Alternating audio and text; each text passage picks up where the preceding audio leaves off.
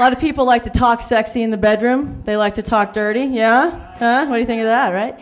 Uh, but I say there are a few things that you don't want to hear a woman say, even in the bedroom. Like uh, when you open up a condom, if she says, What's that? That's not good. That's not good. That's not good at all. I gotta tell you though, I do think STDs are kind of overrated, you know, because if there's no foundation or walkathon set up, you're good. You're good. You're good. You got nothing to worry about, right? Yeah. A lot of people are worried about gay marriage. You guys know about this? Yeah, you know about this.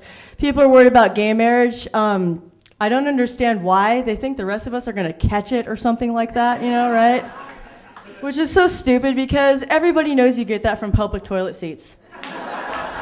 And that is just, there's no call for that kind of ignorance anymore, right? None.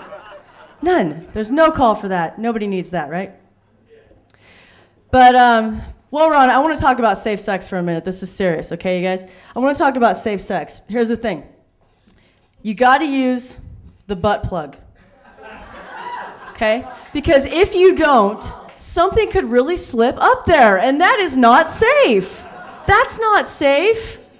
You don't want that.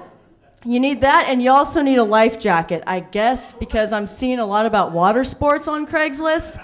I don't really know what that's about, so I don't know. They say sex addiction can actually be a problem, though. Yeah, drugs, alcohol, sex addiction's a problem too. I don't think so. I say sex addiction can only be a problem if you aren't hot. I mean, other than that, what's it about, right?